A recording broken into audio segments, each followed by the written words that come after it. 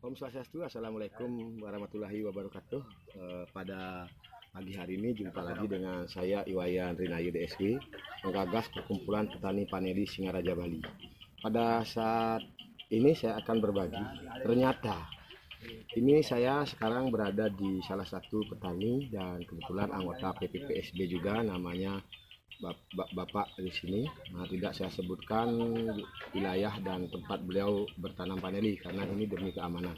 Pemirsa, di Singaraja Bali masih tersisa benih-benih unggul yang seperti ini.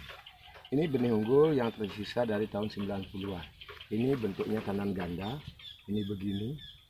Ini juga, ini adalah contoh-contoh daripada eh, benih-benih unggul yang tersisa di tahun 90-an. Nah, ini lagi. Ini sangat lumayan, ini agak lebih ini dikawinkan sehingga uh, buahnya agak kekecilan tapi syukur masih ada yang panjang sekitar 18 cm yang seperti ini. Nah dalam hal ini beliau masih agak uh, kurang untuk bagaimana merawat pohon paneli ini sudah agak uh, layu dia tanaman sudah agak layu seperti ini. Ketika saya ke sini perhatikan bahwa penyebab daripada matinya pohon paneli ini adalah di sini tidak tersteril dia lokasinya tidak tersteril sehingga akar di sini keinjak dan adanya penumbuhan media baru ketika itu jadi akar menjadi busuk seperti ini. Nah bagi teman-teman para petani paneli di mana pun berada, saya mengharapkan sekali ini adalah merupakan contoh apabila nanti ke depan kita berbudidaya paneli, usahakan jangan sekali-sekali menimbun akar paneli dengan apa pun langsung seperti ini. Contohnya seperti ini, akar akhirnya busuk. Nah ini busuk akarnya seperti ini Inilah artinya nanti e, akan berdampak kepada tanaman kita sehingga akar busuk nanti akan bisa muncul virus fusarium yang orang bilang adalah e, busuk batang. Inilah yang menjadi kendala ketika kita melakukan e, penimbunan e, dengan apa pun sebenarnya tidak boleh sangat riskan sekali. Contohnya dulu ini Bapak dibeginiin sehingga ini busuk seperti ini. Dan ini juga di sini terinjak dia, tidak tersteril. Ini yang riskan sekali dalam kita berbudidaya paneli.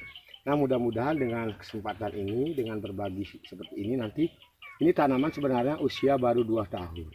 Nah ketika nanti saya akan jelaskan bagaimana tanaman yang sudah memiliki sampai usia puluhan tahun. Karena di bawahnya ini steril. Nah itulah yang mungkin kita harus antisipasi dan harus kita apa namanya eh, betul-betul uh, perhatikan kalau kita berbudidaya paneli uh, untuk bagaimana menjaga di bawah untuk perakaran pohon paneli itu harus harus steril sekali. Yaitu dulu yang dapat saya sampaikan mudah-mudahan bermanfaat bagi para pecinta dan penghobi tanaman paneli di mana pun berada.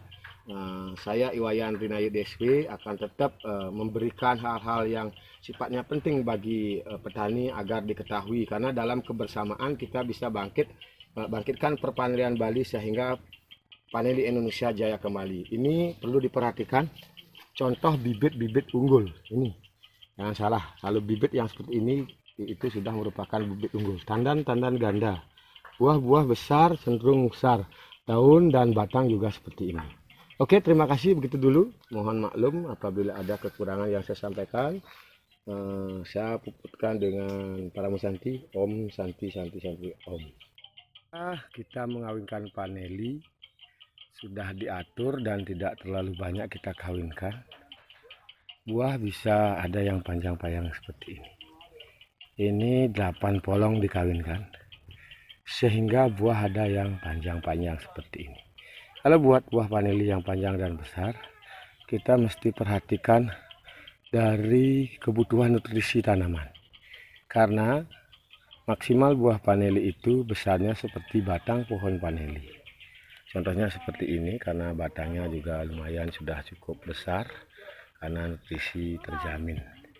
Ya itu yang dapat saya sampaikan dan berbagi pada teman-teman. Seandainya nanti dalam tahap polinasi kawinkanlah buah paneli anda maksimal 8 polong.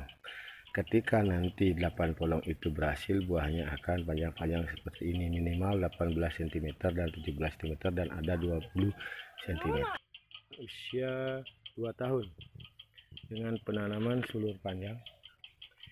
Ini dikira akan berbuah ya. Ini minimal satu kilo sudah masuk guys. Ya. Koleksi asli. Perkumpulan Petani Paneli Singaraja Bali. Benih-benih munggul yang masih tersisa akan kita budidayakan kembali.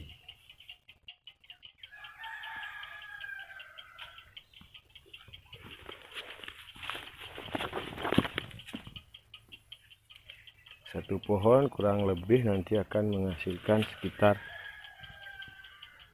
5 kg. Umur usia paneli 2,5 tahun memasuki usia ke tiga tahun.